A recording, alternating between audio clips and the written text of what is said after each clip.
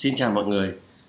Trong thời gian vừa qua thì uh, à, mình có ý tưởng muốn thu âm một cuốn sách nhân cái dịp mà mình đang tự uh, cách ly ở nhà.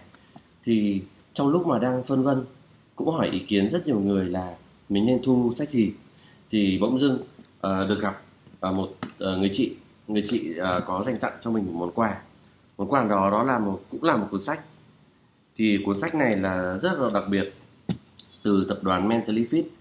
À, ở đây thì có một cái à, à, điều rất là thú vị à, rất là trùng khớp với cả những gì mình đang làm những gì mình đang muốn thực hiện. Đó là à, làm thế nào để chúng ta có cái cái nguồn năng lượng để trong mọi việc. Và cái cuốn sách này đó là cuốn sách gì?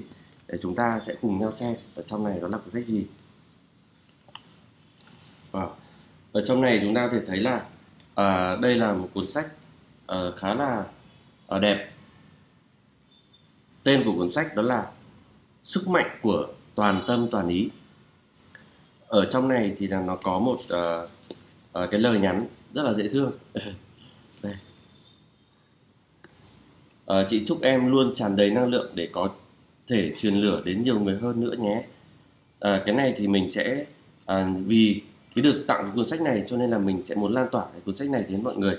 Mình sẽ thu âm thu âm cái cuốn này à, và sẽ định kỳ hàng ngày hàng ngày mỗi ngày một chút một chút để gửi đến tất cả mọi người để mọi người có thể có cũng có được cái kiến thức thú vị cũng như là cái nguồn năng lượng tích cực để sau khi mà chúng ta à, cùng nhau khám phá cuốn sách này.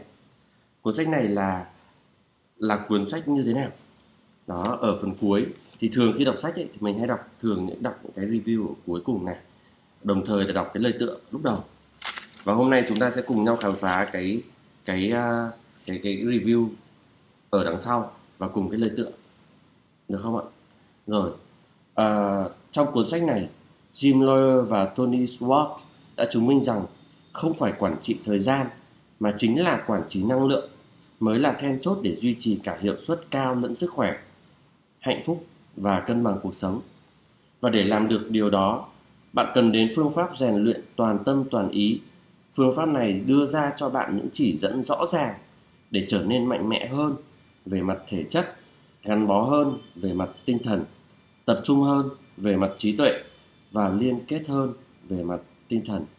Cả trong công việc lẫn trong đời sống, phương pháp rèn luyện toàn tâm toàn ý sẽ giúp bạn phát huy bốn nguồn năng lượng chủ yếu bù lại năng lượng tiêu hao bằng năng lượng phục hồi xen kẽ tăng thêm khả năng theo đúng phương pháp mà các vận động viên nổi tiếng thực hiện, tạo ra những thói quen rất cụ thể để quản trị năng lượng tích cực.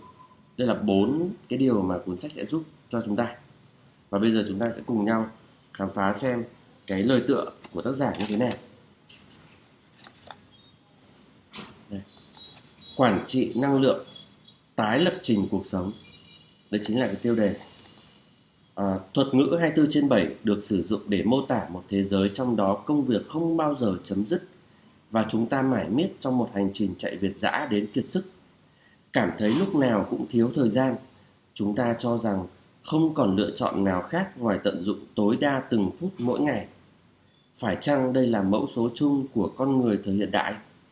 Hầu hết mọi người đều suy nghĩ rằng bận rộn vội vã là quy luật tất yếu của cuộc sống hôm nay tuy nhiên, có điều gì đó không ổn khi chính chúng ta nghiện công việc, vùi đầu vào công việc, tạo ra một cuộc sống thiên lệch và rệu rã đến mức bỏ qua rất nhiều điều quan trọng với mình sức khỏe, gia đình, bạn bè, thú vui hay những điều khác nữa một quan điểm đột phá, trái ngược hoàn toàn với tư cách Cách tư duy lỗi thời trên đã ra đời.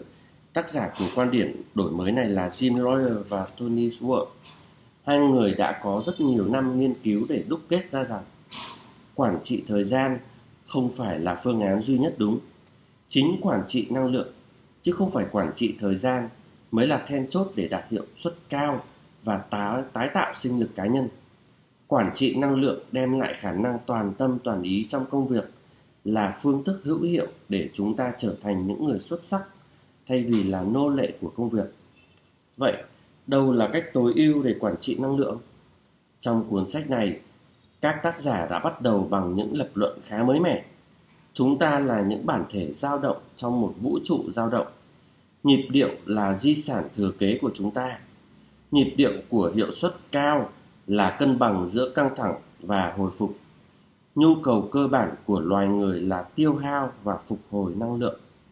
Đó là hiểu biết then chốt để chấm dứt lối làm việc triền miên, căng thẳng và kém tập trung và không chỉ quan trọng đối với các cá nhân toàn tâm toàn ý trong công việc mà còn là mục tiêu của các công ty, tổ chức. Một công ty hoặc tổ chức về cơ bản là nguồn dự trữ năng lượng tiềm tàng. Mỗi cá nhân trong công ty đều góp phần quan trọng tạo nên sức mạnh chung và sự sống còn của công ty. Lãnh đạo là người quản trị năng lượng của tổ chức. Họ bắt đầu từ việc quản trị hiệu quả năng lượng của chính mình. Ở vị trí lãnh đạo, họ phải huy động, tập trung, đầu tư, định hướng, phục hồi và tăng cường năng lượng của các thành viên. Có thể nói, tác phẩm này của Jim Lawyer và Tony Schwartz là một cuốn sách đặc biệt hấp dẫn và thú vị. Nó buộc mỗi người phải nhìn lại và suy ngẫm về cuộc sống hiện tại, về những quan điểm và hành động của mình để lập trình lại cuộc sống, liên tục tái tạo và phục hồi sinh lực để đạt hiệu quả tối ưu. Phần cuối cuốn sách là phương pháp rèn luyện toàn tâm toàn ý.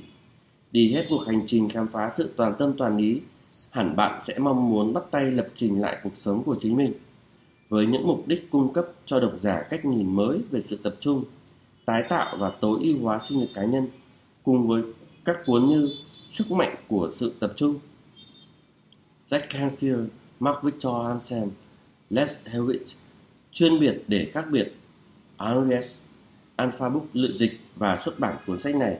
Xin trân trọng giới thiệu cùng quý độc giả công ty cổ phần sách Alpha.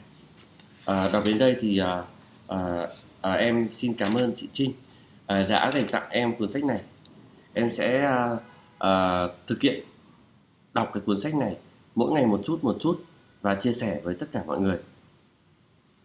Xin cảm ơn ạ.